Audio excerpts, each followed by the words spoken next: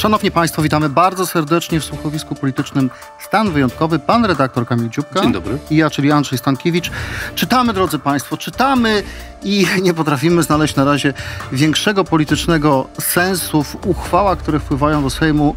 Rewolucja przyspieszyła, kierownik wrócił po weekendzie i uderzył nogą, walnął pięścią i wstrząsnął kadrami. Platforma próbuje nadrobić stracony czas i dać swoim wyborcom to, czego oczekują, czyli kadrową rewolucję w państwie. Zastanowimy się, czy to jest w ogóle realne.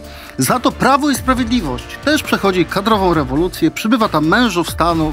Na metrze kwadratowym na Nowogrodzkiej jest ich w tej chwili bardzo dużo. Obok prezesa Jarosława mężami będą też Adam Bielan, to trochę taki mąż z odzysku, oraz Łukasz Mejza i tu będę starał się być bardzo precyzyjny, ale cytat będzie nieprzypadkowy, który jest powtarzam, to cytat panie Łukaszu, jest mentalnym dnem oraz, tu znowu cytat panie Łukaszu, nie ma w polskiej polityce bardziej obrzydliwej postaci i o tym dzisiaj w stanie wyjątkowym zapraszam bardzo serdecznie.